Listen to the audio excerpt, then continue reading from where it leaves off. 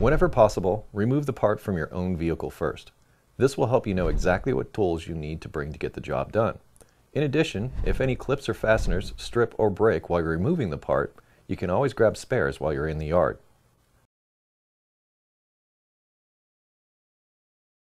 Distributor removal, 1996 Honda Civic 1.6 liter.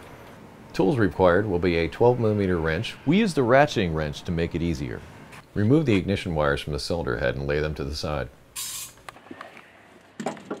Disconnect the electrical connection. Be sure to pull on the plastic connector itself and not the wires.